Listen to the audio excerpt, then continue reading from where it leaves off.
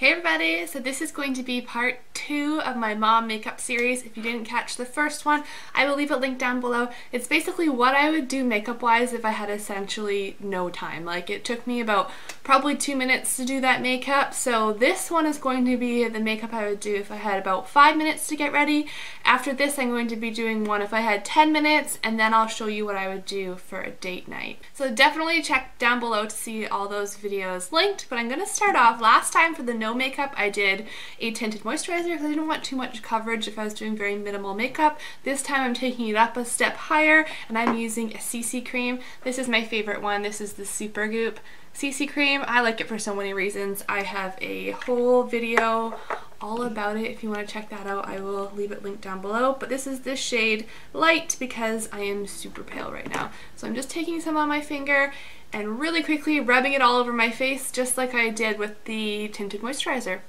Alright, so I'm just making sure to push the product into my hairline and then of course go down my neck. Actually I have some monstrous zits on my neck right now. I don't know what is happening. I think it's hormones, but it's just awful. So yes, just really quickly rubbing this all in. Now with my no time makeup look, I didn't have time for concealer, but now I do, so I'm grabbing my Sephora Gel Serum Concealer.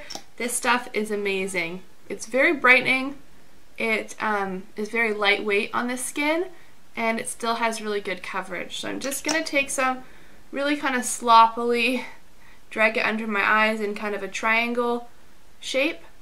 I always put some down the bridge of my nose, between my eyebrows, and then on my chin. So this not only acts as a concealer, but also kind of as a face highlighter.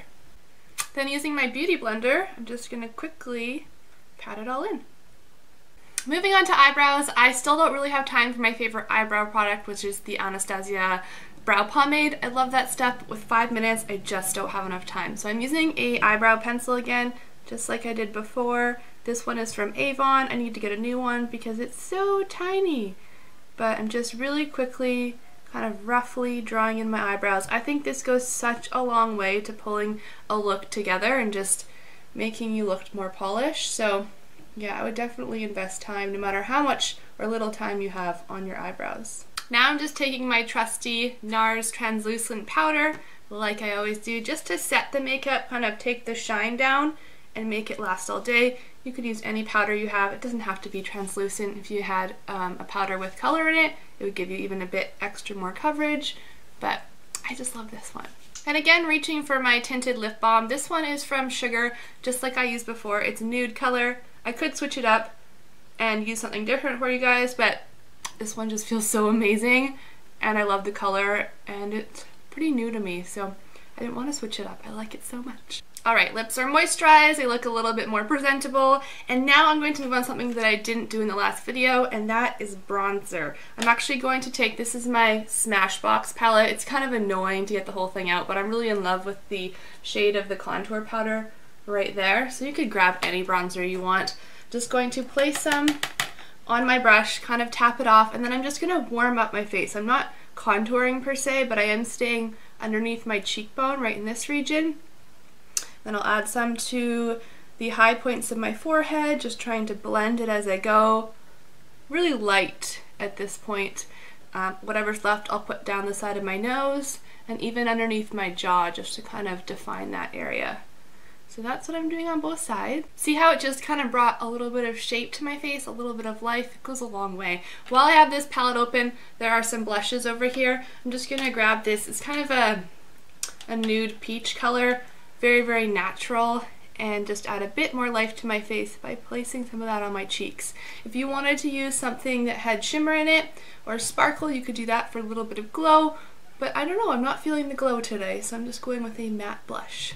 And the last extra step I'm adding in before mascara is eyeliner. I feel like this goes a long way just to frame your eyes and make you look a little bit more put together. It does take more time, so that's why I'm adding it in my five minute video. And you know what? I've been doing eyeliner every day for a long time. So eyeliner for me is really quick, but if eyeliner is something that you struggle with, you may want to save that for a time that you have more time, especially if you're doing a cat eye. But I'm going to go ahead and do it because, like I said, I'm used to doing it. I'm dropping things. Um, and you don't have to do a cat eye, you could just do a straight line across, maybe even smudge it with your finger.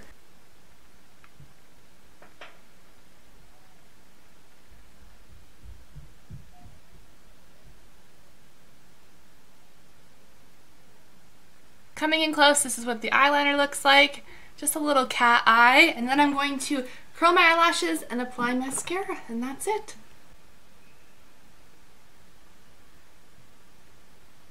Alright, so there it is. Coming close so you can see it. So it's got a bit more coverage than that um, tinted moisturizer had, and my eyes look a little bit more put together because they're more defined, and so does my face with the bronzer. But altogether, this look, if I hadn't been talking, took me about five minutes. So hope you guys enjoy. Look out for the next video where what I would do and add if I had 10 minutes, and thank you so much for watching. Bye!